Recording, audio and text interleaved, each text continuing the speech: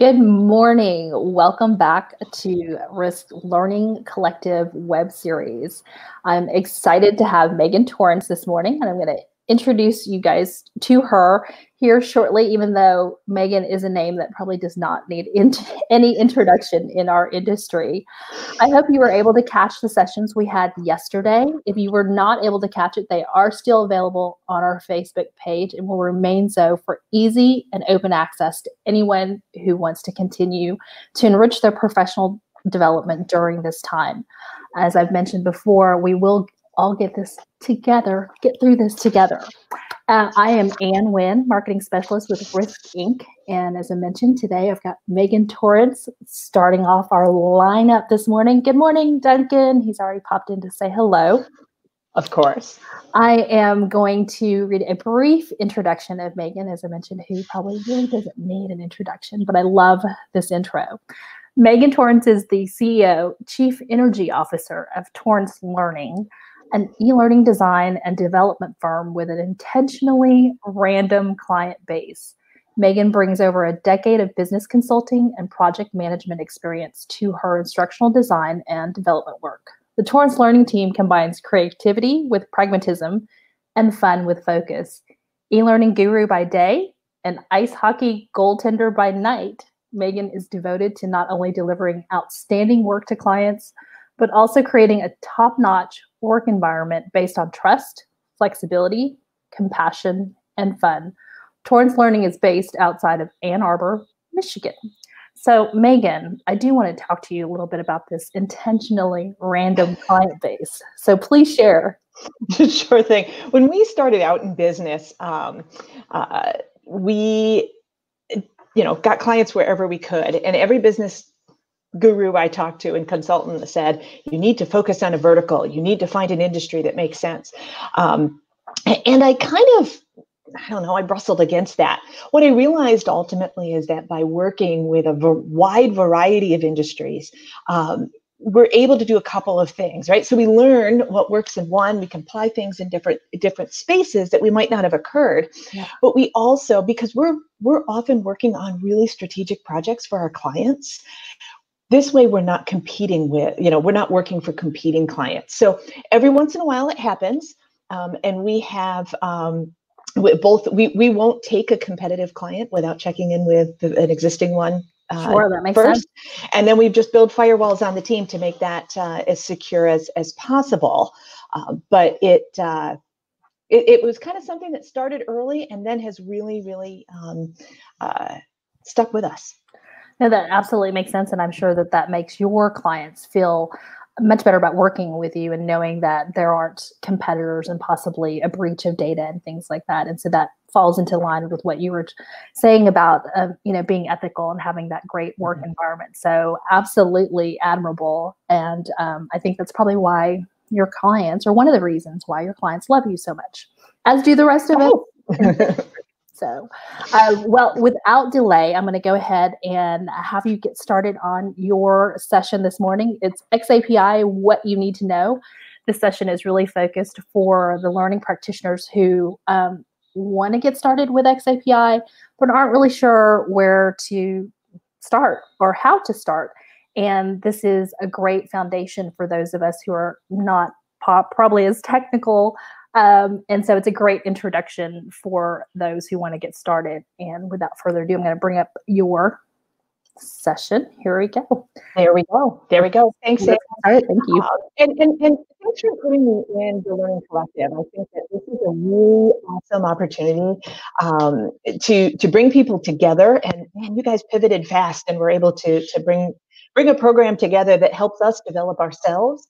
Um, I'm really, uh, I, one of the things I'm seeing lately is that you know, in, in learning and development, we've always been told that we need to do more with less.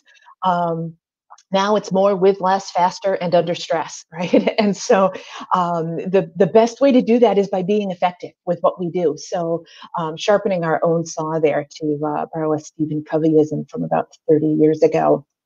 So, uh, as Anne said, um, Torrance Learning is a, a, custom learning design and development and strategy firm. And we spend a lot of time um, on professional development for our peers in the industry to, to raise the bar for all of us. Uh, so, we spend a lot of time on agile project management for instructional designers, uh, but then what we're here for today, really around XAPI and getting better data from the learning that we do.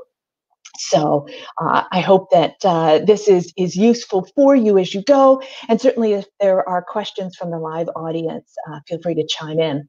So at this point, you may be wondering, what is XAPI? Um, XAPI, well, X stands for experience and API stands for application programming interface, which is really an agreement between two computer systems on how they're going to share data. And so, Anne, when you uh, post in LinkedIn and you click this the, the little button that says send to Twitter also, uh, that happens, that magic happens uh, because of an API. Uh, you may have heard of it as the Experience API, which is its formal and grown-up name, and uh, and and the X for experience means this is so much more than just learning right? This is performance data as well, which is really, really important. And the project that got it all started is the Tin Can project. So you may see it referred to as the Tin Can API. Um, and uh, so that's a, an older term, right? But what is it? It's really a specification for how we're going to send, store, and retrieve activity about learning uh, and about performance. And uh, it comes to us from the same folks who brought us SCORM, so the Advanced Distributed Learning Group out of the US federal government. And um, some people have said, well, gosh, is this the next generation of SCORM? And I'd like to challenge that thinking a little bit, right? So, because um, next generation doesn't really capture it at all. So my guess is either you are watching this on a phone right now, or within an arm's reach, you have a device that looks like this, right? So let me tell a little story. Uh, I'm old enough, and I'm going to date myself. I'm old enough that when I grew up, there was a box in my kitchen with a big long 16 foot cord on it.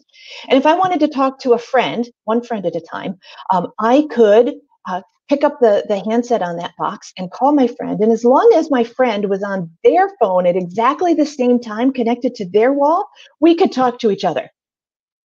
Couldn't send pictures, we couldn't play games, but we could talk to each other, right? And that's how I think of SCORM right? And and in fact i grew up out in the countryside and so and i predate answering machines. And so the um, we had our phone turned up way loud because we might be out in the horse barn or way back in the backyard and when the phone rang we all you know would drop everything and yell phone! and then sprint like crazy to catch that call before the person on the other side hung up.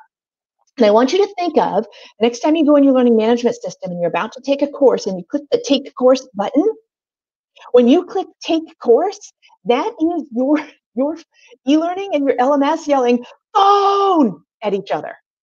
Okay. Now, the phone that is next to you, okay, does telephone calls. It takes pictures, it takes video, it counts your steps, you can read the news, you can play games on it. Mine is a Samsung, and this actually has a remarkably accurate pulse oximeter. So my phone will tell you my blood oxygen content. Okay? My phone will do things that were invented after it was manufactured. So think of the power, the multiple media, the not just one stream of data, not just connected. Like if I go out into the boondocks and I, I or, I, or, or I'm on a plane, I turn on Wi-Fi or airplane mode, I, I can still do some things on my phone. Okay? Which I can't take a SCORM course if I don't have an internet connection. And so what I want you to think of XAPI is not so much next generation SCORM is what will replace SCORM. And that's a good thing. SCORM is not an all bad uh, proposition for us. SCORM has been useful. But think about it this way it keeps track of about 16 different things between your LMS and your e learning courses, only your e learning courses. Okay? Um, and but in that pile of 16 or 20 things that the LMS and the e-learning courses use in SCORM, only about five of which are useful to us as instructional designers. And every single SCORM package from a technology perspective looks exactly the same. Um, I, have had all sorts of telemarketers or you know email marketers ask me to help me with my logistics problems. My logistics, I send people a zip file. There's no logistics involved in that. Right? It's email. Right? And so um, those little zip files uh, work. And the nice thing is that SCORM is interoperable, it's interchangeable. You don't need a geek to do SCORM. Right? We have these fabulous authoring packages that let us focus on the instruction and the media and the design. And we don't have to worry about the technology because it just works. And these tools are so cheap, the barriers to entry are very, very low. SCORM is why right, this, this shared industry-wide global specification is why the, the, the digital training, the e-learning environment has exploded and become such a rich and interoperable and fragmented marketplace, which is really good for buyers. Really good for buyers. You can um, accept SCORM packages, right? You can buy training from mom and pop shops, person sitting in their kitchen, well, we're all sitting in the kitchen right now for e-learning developers, right? Um, right, person sitting at home in an office uh, to great big companies that do this. Um, you can swatch, swap authoring platforms. You can use Storyline. You can use Captivate. You can use DominKnow. You can use um, all sorts of other packages, and uh, you can then ditch your LMS and get a new one, and all your old course content still works. This is really good for the industry, but it's also limiting because I have this limited vocabulary of things I can actually talk about, right? And only for e-learning. In contrast, right? In contrast, XAPI is a grammar. And when I have grammar, I can talk about anything. Right? And so I like to think of this is my second big metaphor, right? So I had the phone metaphor. Here's my second big metaphor. I like to think of XAPI as like the Lego store. So I can go into the Lego store and buy the Death Star kit, take it home and build it. Great. I can go into the Lego store I can buy the Death Star kit and the Black Panther uh, attack ships and the women scientists, uh, little people, and the police cars, and I can put them all together and make my own personalized experience. I can add the robotics, right? The Lego robotics. I can go to the library. I can check out a 3D printer from the library and I can print my own bricks or I can buy bricks manufactured by third parties and they all work together because they all agree to this grammar right of bumps and grooves on the on the basic lego brick. That's how they all stick together. And as long as we as an industry all agree on this grammar we can assemble remarkably customized unique to our own business situation learning experiences because it all follows the same grammar. So let's talk a little bit about vocabulary that you'll need to get started with XAPI. Um, and I just, I will start for all my folks in the safety training or in the sciences um, by telling you just how much I love stock imagery um, and uh, the, the seriousness of this guy, uh, an absolute utter lack of PPE as he is doing this close-up work with chemicals, which of course we all know uh, that chemicals are all, you know, beautiful, perfect uh, red colors like this, right? Um, gotta love that stock art. So here's here's the um, here's here's a, a, few vocabulary words, and this guy is is, is how we're going to learn about that, right? So there you are doing your job, um, and you have your content, whatever it is, and you have a learning record provider. A learning record provider, this little pipette, is what is sending the data. And so in an e-learning and a SCORM context, your e-learning course sends SCORM data, right? That is a learning record provider. In an XAPI context, the learning record provider could be an e-learning course. It could be a video. It could be a um, uh, a checklist, an observation list. Uh, it could be your actual systems of work, where, where the work that you do is stored, logistic systems, sales systems, um, those kinds of things. Um, anything any place that you learn it can be micro learning it can be adaptive learning it can be um, uh, does somebody click on and and how do they use performance support or infographics or anything you can digitize can become a learning record provider. And it's going to use that pipette, right? Rather than just flinging data everywhere, right? It's going to use that pipette to structure that data into activity statements. And we use profiles. Think of profiles as kind of like the dictionaries or a language dictionary um, around uh, your activity statements, which are those sentences that use the grammar. And so this guy is going to be drip, drip, drip, data, data, data, data, right? XAPI is stored as series of transactions in its base form. And so these statements are going to go dripping as they go into the Learning Record Store, which is the database that houses the XAPI statements. It is specifically designed to do this. And so people sometimes say, well, do I need to get a Learning Record Store if I want to use XAPI? Well, only if you want to catch your data, which is kind of the point, right? So you need to send XAPI data properly formatted, and you need a learning record store, a database, a piece of software to receive that. Okay? And then you've got a bunch of other data you're also going to have to keep track of, right? Um, so the the and and that's where the fun starts. Now, this is so far analogous to a SCORM world as long as we're just looking at e-learning. But remember that learning record provider could be anything. But I'm going to go one step further on you. Okay. The that pipette can reach into that beaker, right, and pull out data, which we can't very often easily do in an e-learning world today, right?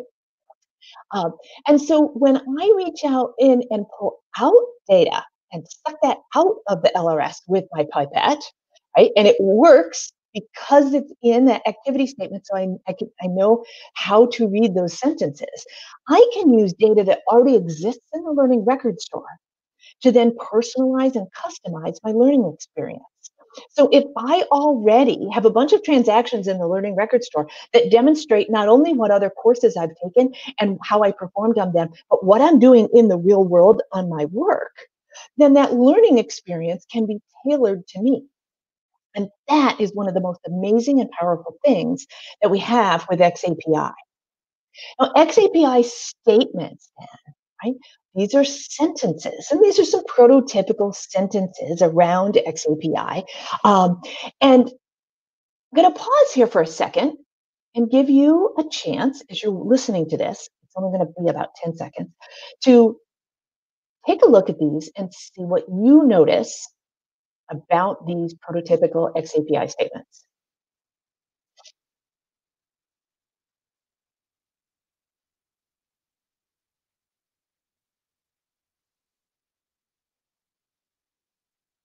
Okay, 10 seconds. So each one of them is identified, right, with an actor. I know who sent that data in. Um, I know what they did to what. And not all of this is learning, right? So actually practicing frosty birthday cake. That's a learning, but it's a not it's a less formal, right? Bomb performed landing we have a result, right? We have successfully or five stars or a score of 98. And then we have some additional context information. It gives me more color, more decoration about what happened. Right? I know were you with a particular instructor? Were you in a particular simulation suite? Were you on a particular piece of equipment?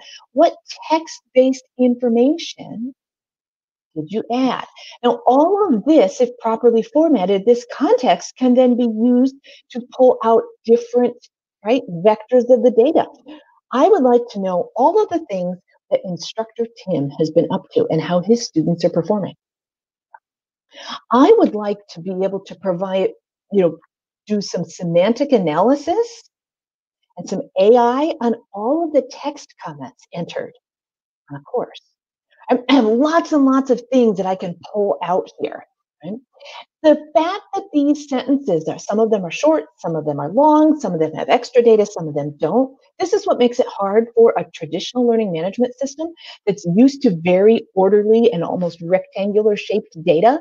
Right? This is what makes it hard for a traditional learning management system to process all this data reporting is really the killer app uh, when it comes to XAPI because being able to get into interesting data, pull it out, and do something with it uh, is where it's all at. Okay? So, what can I do with this data? Right? It's one thing to have all this data, but what can I do with this data? So, again, I'm going to pause for just about five seconds let you take a look at this list and and and there's going to be something on this list that you're going to get jazzed about.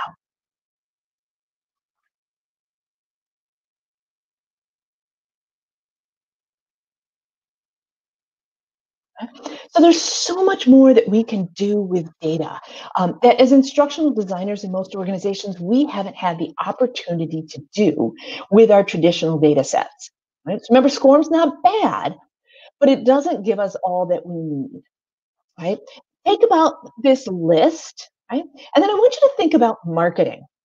You know what? When I was in college 25 years ago, marketing was kind of a black art. It was full of like nuance, and we were looking for subliminal pictures in, you know, glasses of bourbon, right? And and and we had this. The, the, it was very little data associated with it. And then go find a marketer today and ask them how they do what they do, how they measure what works Right? after you have that conversation, it'll take about a half an hour for them to download all the things that they can do with data and how that informs their marketing right now. And data marketing is an incredibly data driven environment, right? It's no longer a dark art. Okay. And then go ask the next instructional designer you find online from six feet away, right? And ask them what they do with data. And it's not the same, right? So here's the thing though, it would be utter malpractice if I didn't share with you this. Right? You can do all of this without XAPI. You've been able to do all of this without XAPI for the last 10 or 15 years using straight up old web technologies. When that happens, what people are doing is they're building a beautiful piece of software that is a black box with its own data model that you can't hook into. It's not shareable. It's hard to leave. They want you to, they, they want it to be hard for you to leave them. Right? Their da- your data is locked up and it doesn't look like any other data. It would be like trying to take Lego and the, um, oh shoot, what are the, the, the, the spokes and the wheels and the con- metal straps and connectors, right? Those two, is it connects? Something like that. Anyways, those two systems don't work together right? So you either buy one or you buy the other, or you have one great big mess that doesn't actually work. So all of this is technically feasible. The magic of XAPI is not the technology. The technology is actually the easy part. The magic of XAPI is the agreement of an entire industry to come together around how we're going to talk about learning and performance experiences, just the way we did with SCORM 20 years ago. 20 years ago, right? But we're doing it now with a much richer data set, and it'll take time. It'll take time. Um, and, and having been around, not from the earliest of days of XAPI, but certainly from the pretty early days of XAPI, um, I'll be honest, it's frustrating sometimes to see that it's slow right? Um, my team's using XAPI. For, I mean, it's kind of our default. It's our, our, our utilitarian go-to for all sorts of interesting things, right? Uh, but last summer, I had the opportunity to work with the e-learning Guild to write the state of XAPI adoption. And um, what was really interesting, well, I'll tell you right, what was really frustrating was the short size of these little blue bars right? And and we're all looking at curves these these days, but um, this is a, a typical technology adoption curve. You have some early adopters, right? Some very early adopters. Those are in blue.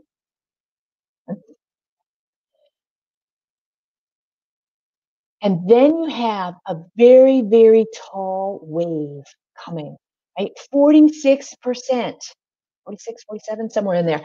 46 or 47% of the people who responded to our survey last summer are interested but not yet using XAPI. And a full 20%, a little bit more, aren't aware of it yet. So it's been out for seven years. It's been out for six years when we did the study, um, but it is still coming, and yet that huge wave, right, is is is happening. And above that big wave of 45%, 66% of them say they will implement it within the next one to three years. So if you are in the learning technology space and you're not looking about looking at this, in the next one to three years, you will be behind. If you are a software vendor who has invested deeply in XAPI and have been questioning your commitment to that, I will tell you that wave is coming and it's really, really exciting. So let's talk about, so we don't get left behind, let's talk about what it takes to get started, right? First, you've got to send your data. Yes, I know, first you need a plan. Great, you've made a plan. Now you need to send data, right? So there are five basic ways to send your data.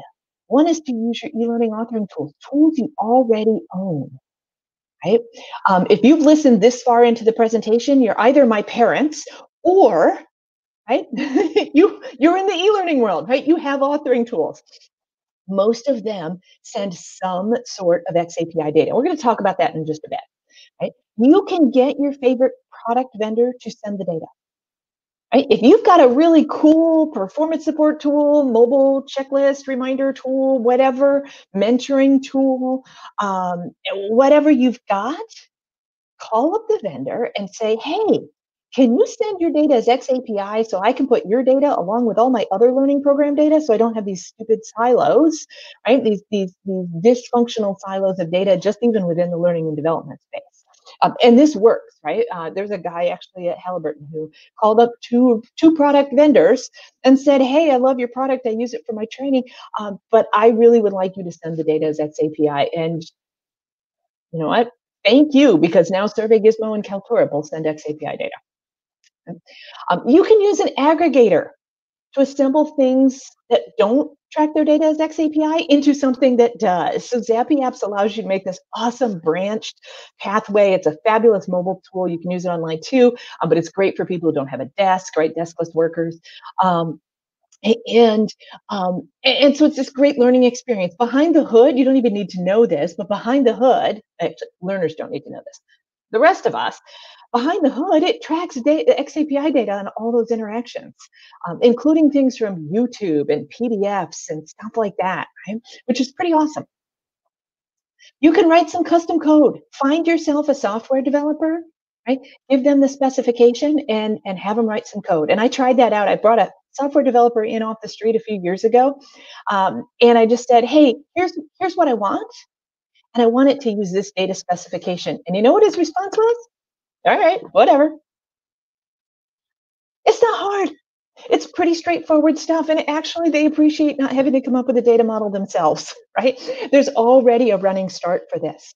And then you can import from business data. If you can't get your business data to send you directly to XAPI, which is ultimately where you want to go, right?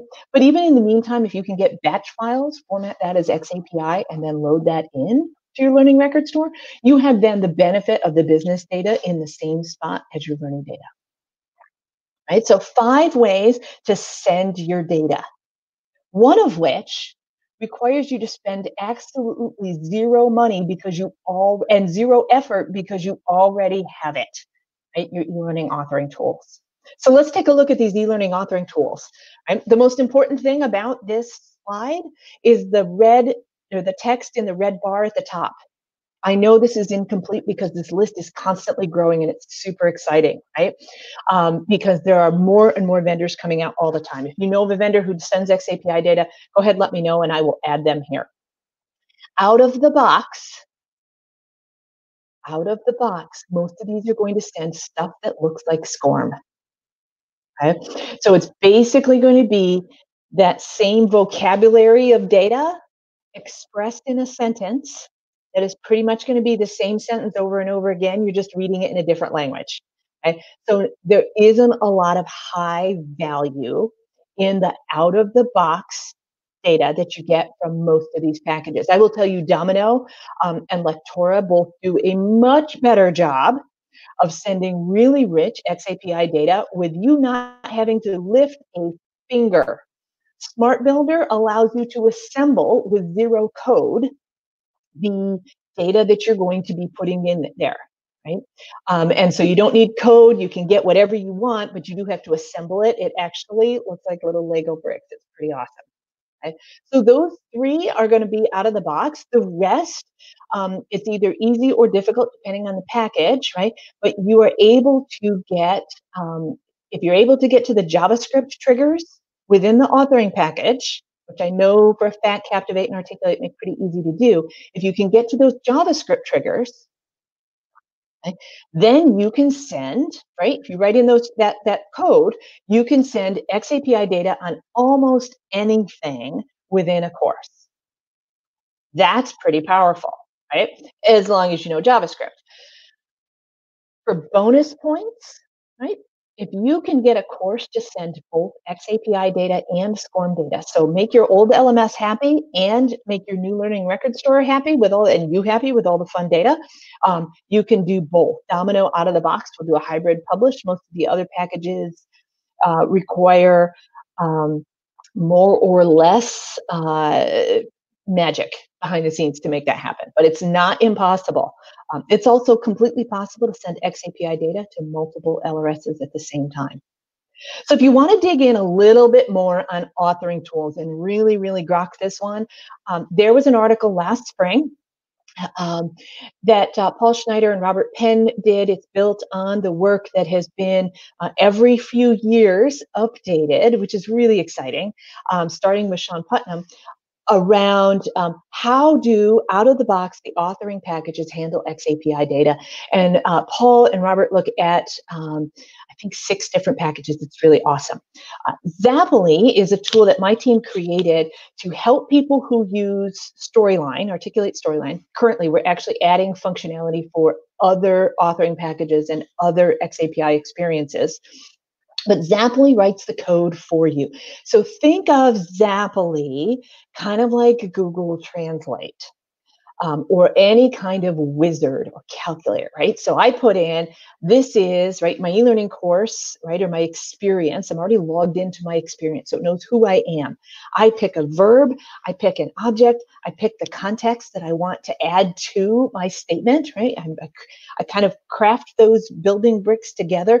Zaply then makes the code, I then copy and paste my code into Storyline at rock and roll. I copy and paste my story, my code into a button or into the header tag of a page. And next thing you know, I've got XAPI data from all sorts of things that weren't sending great XAPI data, but I didn't have to code it. Okay? I'll let you know a secret. Myself, I, have a big appreciation for XAPI. I have a big, big appreciation for software and technology, but I don't know where all the colons and brackets go. I'm not a developer. So a tool like Zaply has, helps me get up and running really, really quickly.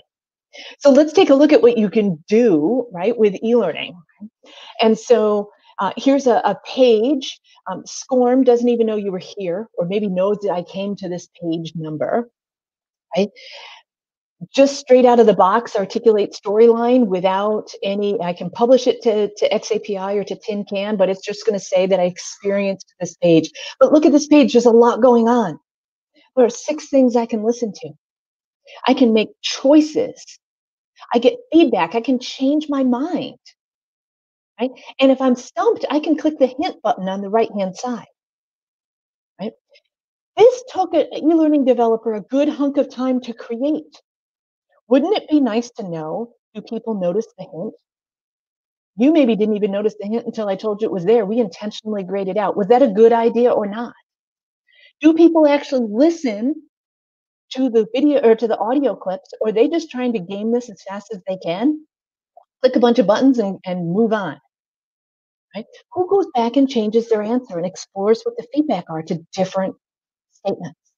Right? There's so much happening on this screen that I would otherwise miss and not be able to evaluate the design of the screen or the impact of the learning if I don't have that data.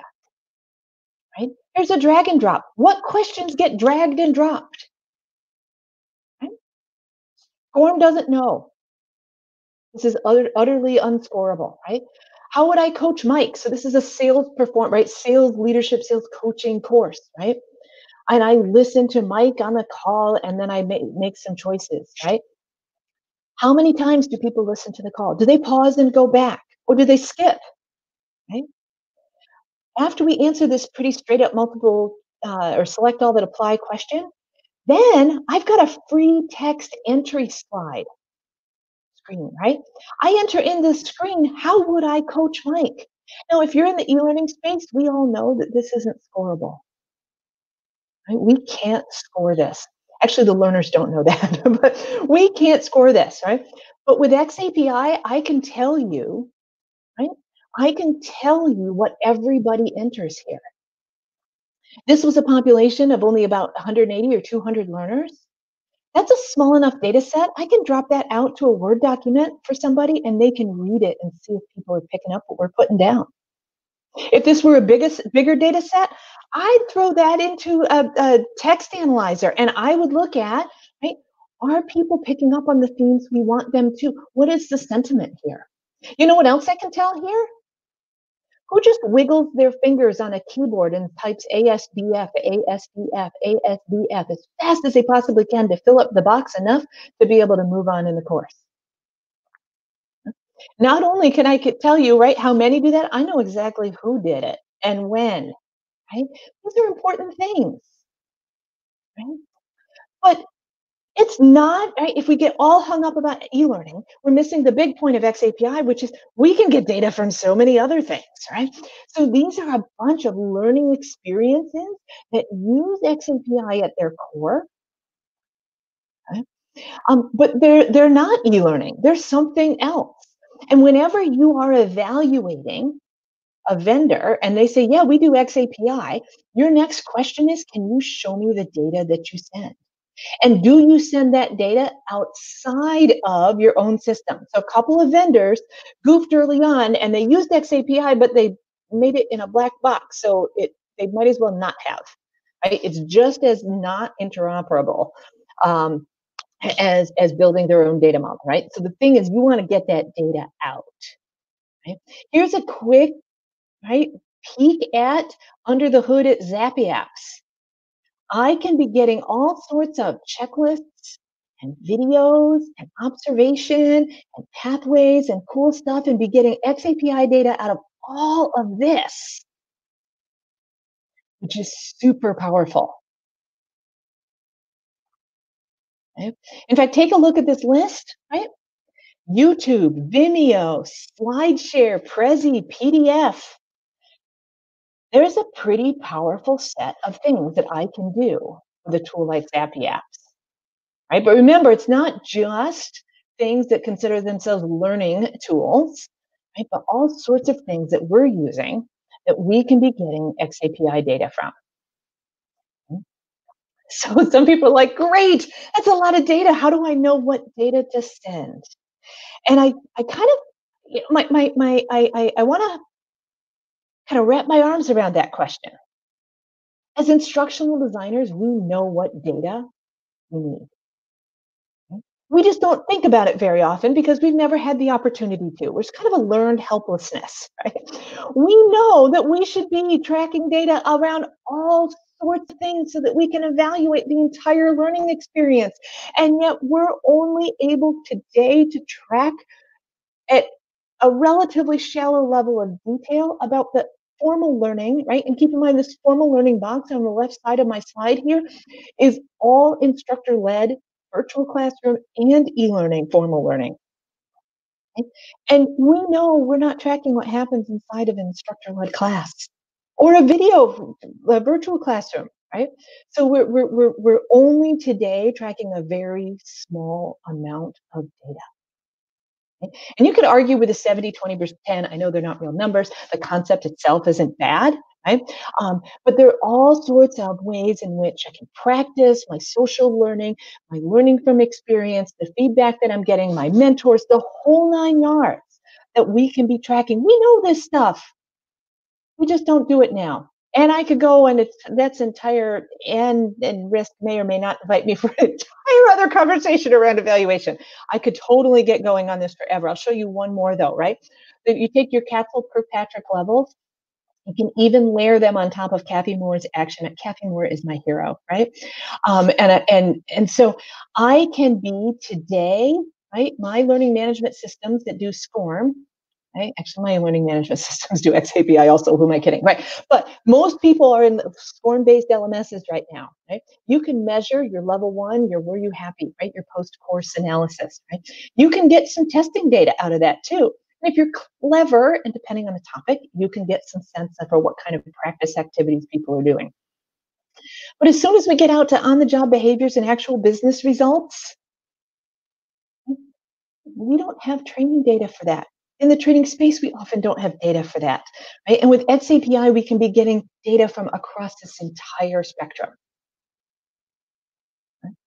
Five moments of learning need right? I'm just going to flash a few here, um, right? Five moments of learning need, or then because I'm not one to leave anybody else's model alone, um, I added four more. So I have nine moments of learning opportunity, right?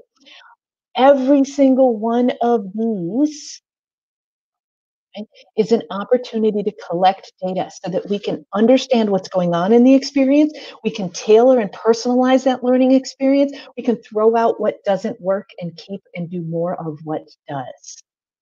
Okay? But until we can measure it, we have no idea. Right? So this is really, really important. All right, so we got it. Yes, Megan, we got it. We're going to send data. We're going to send data. We're going to send a lot of data. Where does that data go? Right? Let's talk about the learning record store and that ecosystem, right? This is your beaker. Okay? Your learning record store is going to be what receives, stores, and when you ask for it, give back your XAPI data. You can test it for something called conformance, not compliance. Conformance, which ensures that it follows the interoperability rules set out by the ADL, the Advanced Distributed Learning Group, um, in the US federal government. And conformance is important. Right? And there's some nuance around that. That's for another day. And said not to be too geeky. Um, right but it but but that's conformance is an important topic to know about um, and the learning records store, LRS, is not a learning management system or LMS. We're going to talk about the difference between the two in just a bit, right? So here we go. A typical LMS, when I need to explain what does an LMS do to somebody who's not in our space, right? An LMS is where I go to find the learning. It is the official source of learning for a lot of organizations. It knows who my users are, who they report to, what groups they're in, right? My employees um, or my external users, right? If I'm, I'm, teaching outside the enterprise. I also can store my courses, my classes, all my stuff in there, and I can organize them into curricula and pathways. It's the official source of truth for many organizations around how, what is the, the official way that we do this? Typically, especially if you have courses and classes, enrollments and requirements and those kinds of things, if you have an LMS, you probably need an LMS.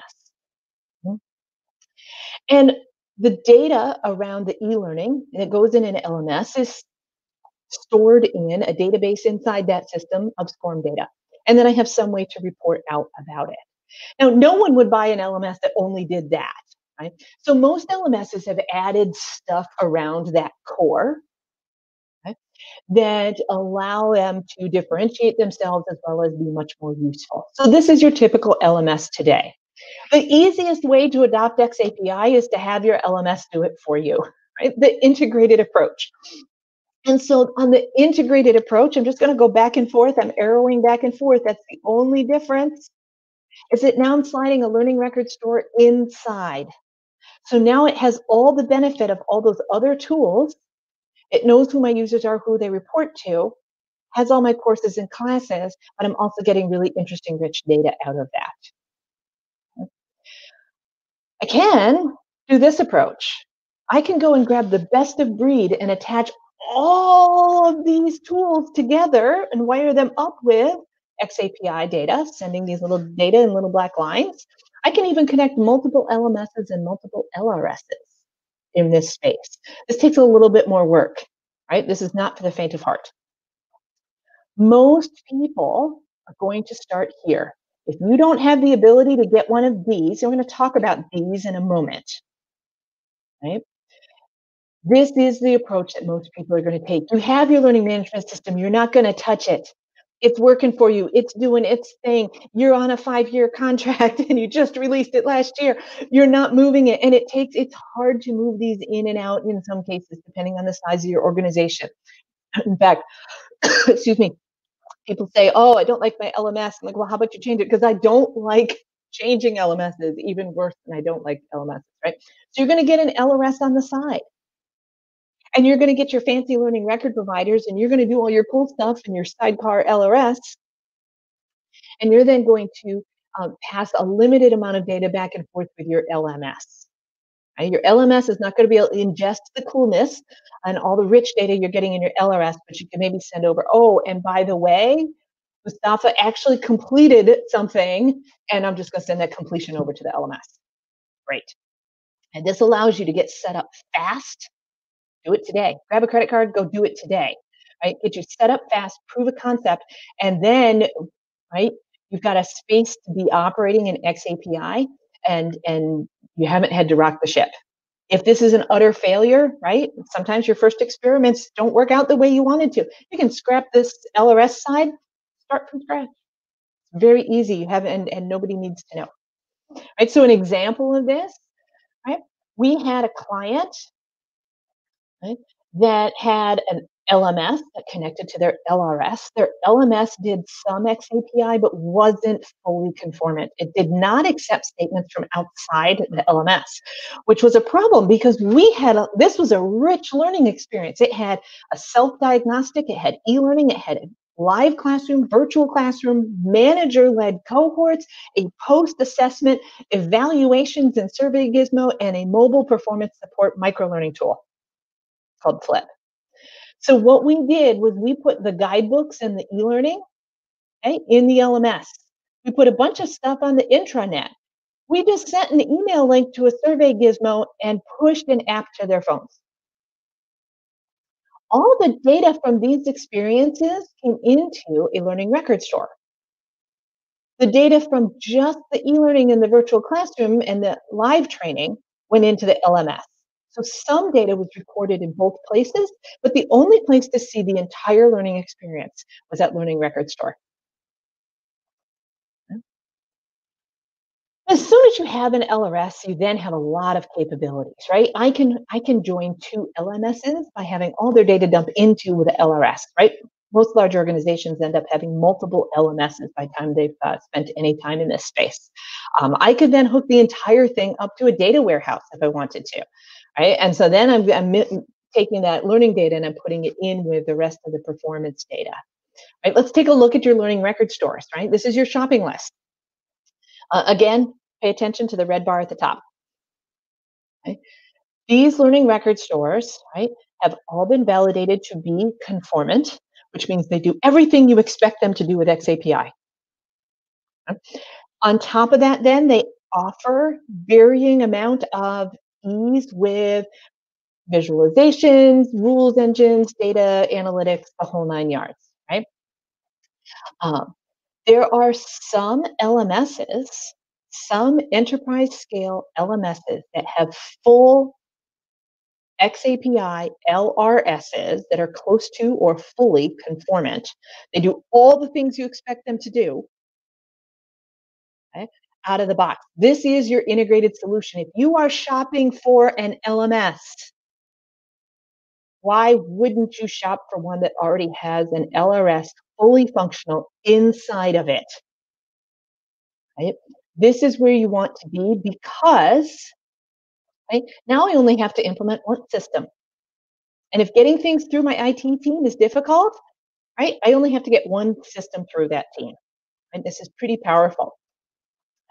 There are some LMSs that offer a varying amount of XAPI support that is significantly short of full conformance.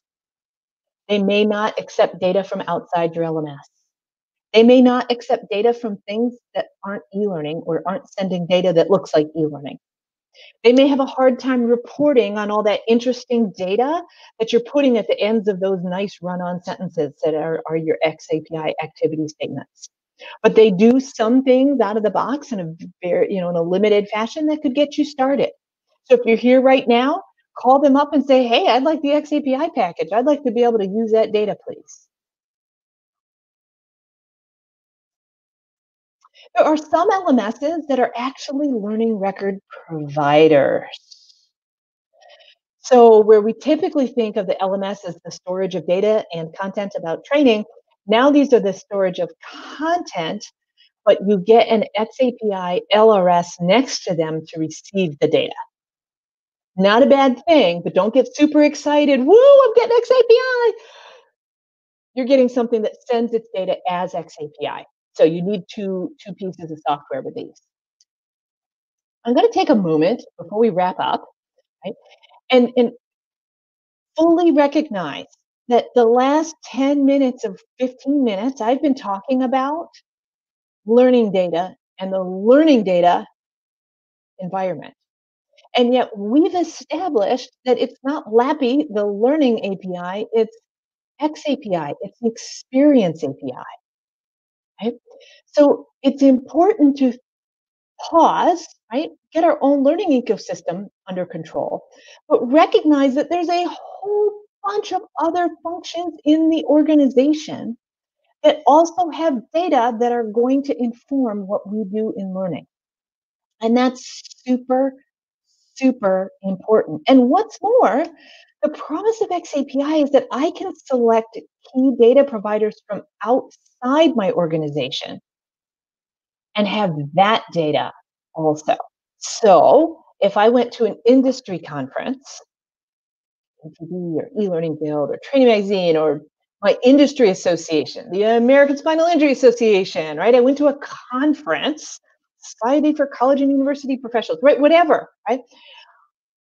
That data can be interoperable and exchangeable. So I can be getting data, rich data about how I learn outside my organization, right? And brought back inside then we start getting some powerful stuff. I take OSHA in one spot. Shouldn't I be able to get the OSHA 40 hour reflected on my learning transcript here so that now when somebody's doing staffing and scheduling, they know that my credentials are up to speed because it's all in one system. And that's when we get into, right? Step three, do something with the data. Right? You can use it to evaluate and improve the learning experience right? Even before you release, as you're doing testing, you can be seeing, do people click that hint button? Do people know where to go? Are they using this stuff that we're building or should, were they doing just fine without it? I then can have these beautiful dashboards and visualizations for decision making, and that's important stuff. I can use that data and to, to, to make decisions around personalization, to make recommendations for content, and then to start right? Action triggers and rules, cascading activity that happens because I did something in one system, it appears in another system. I'm either allowed or not allowed to move ahead, or other things get triggered. And that, we're, we're all very excited about analytics right now, and I am too. But the ability to put learning in the stream of performance and activity and business rules and events is really, really powerful stuff. I don't know about you. That's a lot to take in. So it's okay. The beautiful thing is this is recorded. You could go back and, and check this out again, right? Take two aspirin. Yes, this is a lot right? This is a lot. There are ways to learn more. Uh, we'll talk about XAPI cohort in just a moment. There are lots and lots of workshops. Hands-on and geek-free is a workshop my team runs. Um, it is a fully virtual now um, workshop that will be releasing. Actually, the next one happens uh, August or uh, April, April, some some month that starts with A. April 20th is um, a virtual hands-on geek-free workshop um, there are courses on Udemy and LinkedIn. Learning Solutions Magazine has a ton of resources uh, around XAPI, uh, learnxapi.com, and each one of the vendors that does a good job with XAPI is also doing a good job with teaching about XAPI. The cohort is a free 12 week vendor neutral uh, virtual learning by doing in teams. It is really, really cool. We run it 12 semesters every spring and fall.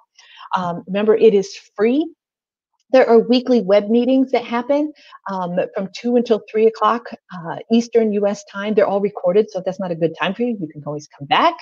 Um, and then in between, right, ad hoc teams form. We use Slack as our, our, our means of gathering and people form teams and they tackle a project together they give weekly report, report outs um, and there are lots and lots of people in the cohort who uh, we call it learning by lurking they're just watching paying attention they'll jump in someday it is never too late to join the cohort. In fact, right now is a super awesome time. If you go to xapicohort.com to sign up because we are starting into demos. So the XAPI cohort has been running since um, the spring one has been running since January. And uh, we're now in the final weeks where teams are, are sharing their stuff. So you can see what is possible to be built for free by volunteers who didn't know each other in advance, who came together around a project and, and did that. If you have any questions or thoughts, I would love to connect up with you. So here's how to get to me. Uh, probably email is actually the best way, although um, if you want to follow along with articles and research and stuff like that, um, XAPI GNOME, uh, T-Learning or MM Torrance, you can find me on Twitter with that. I'm also on LinkedIn. There, uh, fortunately, I have a unique enough name. There aren't a lot of Megan Torrances. So, Anne, Duncan, anybody else who's still out there listening, um, it's been a spectacular opportunity to share this with you, and I really appreciate you inviting me to the Learning Collective. So, thank you very much. Oh, thank you for your time. We did have a question that I wanted to see yeah. if you wanted to entertain it. I know Duncan and Art have chimed in and, and answered, and maybe we can get your thoughts on it. Okay. Oh, there's the live chat. I'm just looking at the live right now. Do I have any suggestions or IRIs for verbs and activities? Yes.